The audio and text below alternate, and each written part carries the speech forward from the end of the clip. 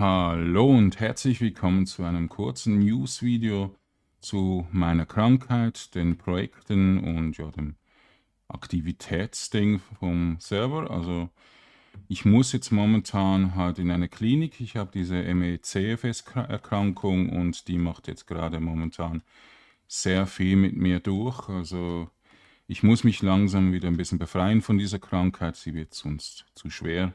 Ich zeige euch gleich kurz, wie die Krankheit so ist und dass sie einfach eine der schlimmsten Krankheiten auf der Welt ist. Und bis ich mich halt wieder erholt habe, mache ich einfach ein bisschen Ferien, beziehungsweise gehe in eine Klinik, lasse mich therapieren und mache natürlich immer viele Ferien oder gemütlichere Sachen als halt Let's Playen und Livestreamen. Aber jo, ich bin jetzt auch gerade noch ein bisschen gestresst und so. Ähm, dass es mir einfach besser geht, oder? Dass ich weniger Stress habe. Hallo, Gärtner. Kannst du 20 Diamanten für mich abbauen? Ja, kann ich natürlich. Bin ja ganz guter Finder. So, und ähm, ja, das Projekt und auch die anderen Projekte gehen natürlich weiter. Es gibt auch dann neue Projekte. Ähm, Manolords werde ich halt nicht direkt am Anfang machen können, aber da werde ich dann einfach anfangen, wenn ich wieder da bin. Kommt aber auch erst, glaube ich, in acht Tagen ungefähr ja, easy. Und auch andere neue Spiele werde ich natürlich gerne Let's Playen und Livestreamen. Und ja, Pixelmon natürlich weitermachen. Das ist ja mein bestes Projekt momentan. Mit den meisten Aufrufen und motivierendsten Leuten. Genau. Jo, ähm, ich werde im... Ähm, wo ist jetzt dieser eine hingegangen? Den habe ich verloren. Der ist geflüchtet. Questgeber. Aber, äh, Schauen wir doch das mal an. Nicht hier beim Kompost, das stinkt. Da ist einer. Der hat aber ein rotes. Hey, bleib jetzt mal hier. Mal, äh, was mit Humor, wegen des Pokémon. Sehen in Disparts. Ja, können wir vielleicht spawnen, aber nicht mehr so viele. Gut, also ich muss hier Bildschirmübertragung machen, damit ich euch das kurz erklären kann. Das ist diese ME- oder slash CFS-Erkrankung, hat diese Symptome ähm, auftreten, andauernde Fatigue, also Müdigkeit, neurokognitive Störungen, sensorische Störungen, Schmerzen, Schlafstörungen, Infektionsanfälligkeit, wiederkehrende Grippe, Essen, also Symptome, Essen, Chemikalien, Sensibilität, gastroenteriale Beschwerden, das ist wahrscheinlich Ab äh, Verdauung oder so, urogenitale Beschwerden, genitale Beschwerden, orthostasische Intoleranz, lepidatorische Beschwerden, äh, kardiomuskuläre Beschwerden, äh, Pharmus, was? Kardiovaskuläre, so klein und äh, so Ding geschrieben, so gleich fast wie der Hintergrund, temporal Temperaturintoleranz, genau, und thermostatische Instabilität.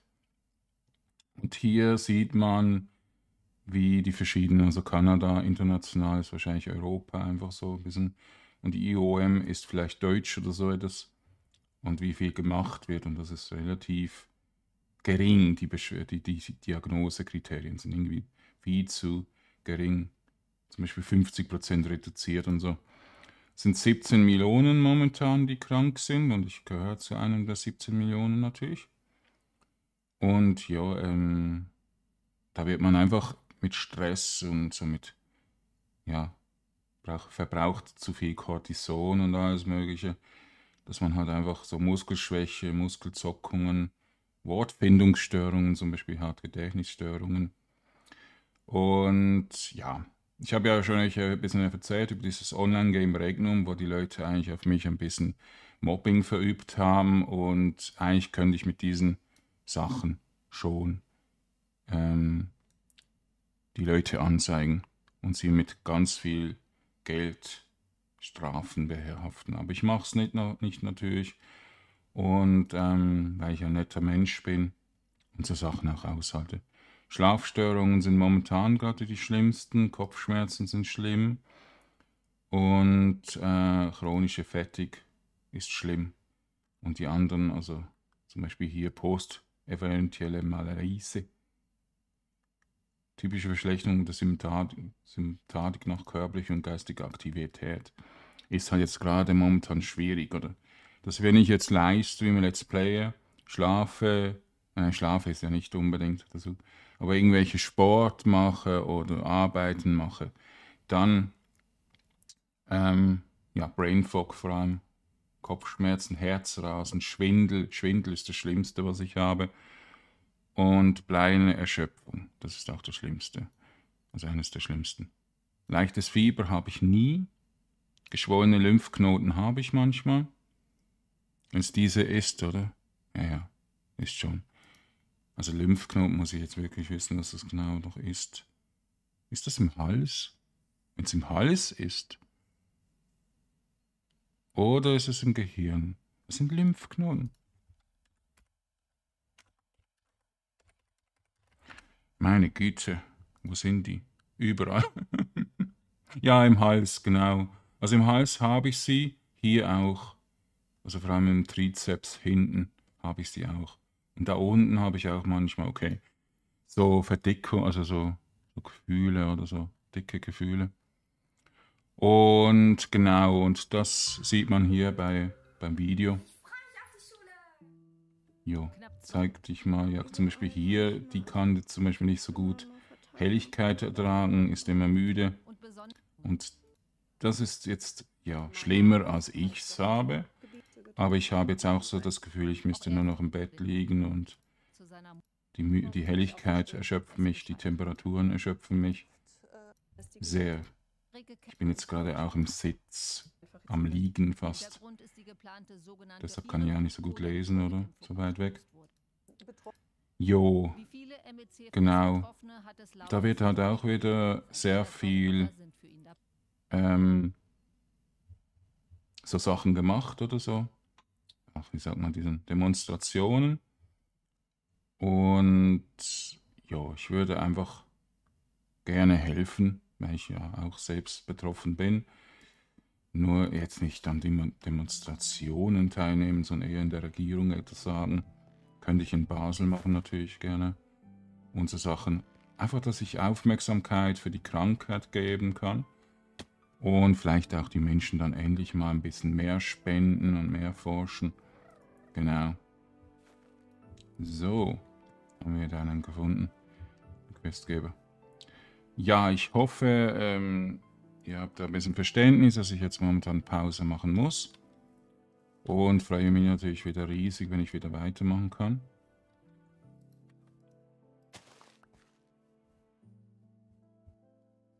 Okay, die Party wurde gehört. Habe ich auch eben nicht lesen können. Genau, der Nachbar macht wieder ein bisschen Lärm, aber das macht nichts. Ja. Und Hummelbeere. So. Genau. Jo, wir sehen uns, gell? Also auch wenn ihr mich natürlich sehr, sehr mögt und gerne suchten möchtet. Ich kann jetzt einfach nichts dafür. Dafür bin ich dann wieder lange euch da. Und ja, es ist ja natürlich für die Gesundheit auch wichtig. Gell? Immer schön gesund bleiben, nicht aufgeben im Leben. Immer stay positiv sein. Also positiv bleiben heißt das auf Deutsch. Und genau. Sieht geil aus.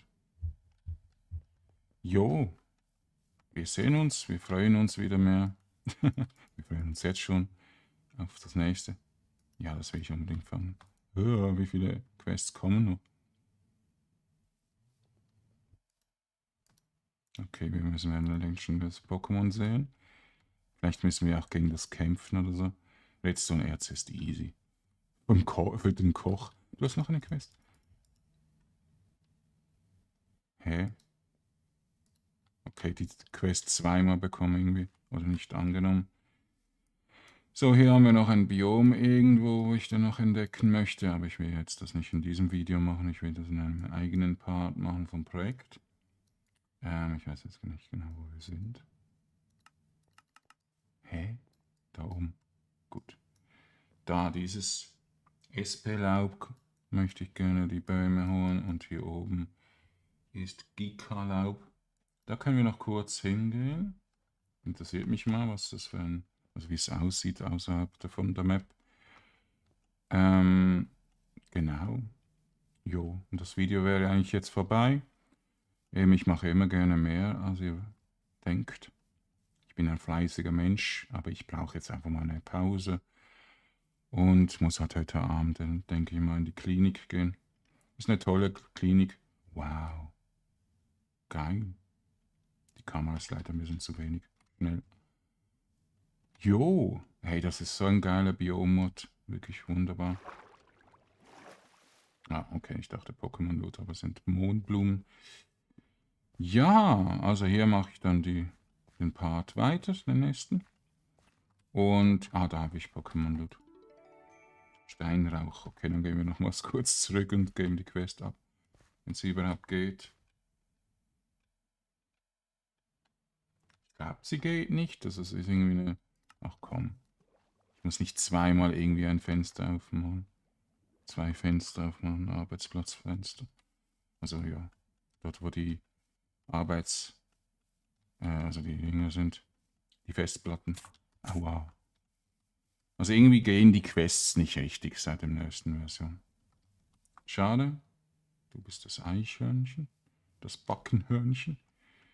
Jo, also ich halte euch nicht auf, gell? Ich werde dann wieder viel mehr Livestreamen. Das kann ich dann auch kompensieren. Und ja, ich brauche einfach jetzt wieder schönes Wetter und so für den Sport. Okay, ich habe die Quest, glaube ich, zum Abgeben. Dann machen wir die Quest, oder? Noch kurz und dann, ja, machen wir mal Ferien. Hier auch ein bisschen von mir. Gell? Aber ich bin dann bald wieder aktiv und kann euch wieder motivieren und wieder gute Taten, gute Worte sagen für eure Motivation. Ist wichtig, dass es euch auch gut geht, auch wenn es euch schlecht geht. Hey, das ist die. Das ist der Wegpunkt, das ist gar nicht die Quest. Stimmt, ja. Sieht halt auch ein bisschen anders aus, wie das Unimap aufgebaut ist. Oder noch aufgebaut äh, gewesen ist, als jetzt in der neuesten Version. Ja, ist egal. Gut, danke für schön fürs Zusehen und bis zum nächsten Mal nach einiger Zeit. Ich denke, es geht nicht so lange, aber mein Körper muss es, der Körper muss sich halt wieder verbessern sozusagen. Jo. Enigma-Beere brauchen wir, glaube ich, auch noch. Also, bis dann einmal. Auf Discord kann ich aktiv sein, WhatsApp-Gruppe auch. Einfach mal nach Dragobase schauen. Und ja, könnt mir gerne ein bisschen anschreiben. Tut mir gut. Auf dem YouTube-Kanal eigentlich auch. Einfach in ein Video äh, schreiben. Ja. Und ich, mir muss es einfach noch besser gehen, gell? Wieder ein bisschen besser gehen. Also hoffentlich euch auch und auch wenn es euch schon gut geht, noch ein bisschen besser geht immer. Genau. Tropenlab, okay. Ja, ja, Dusselgusch. Keine Ahnung. Tschüss zusammen, schönen Tag, viel Spaß noch und bis wir uns wiedersehen oder hören. Tschüss.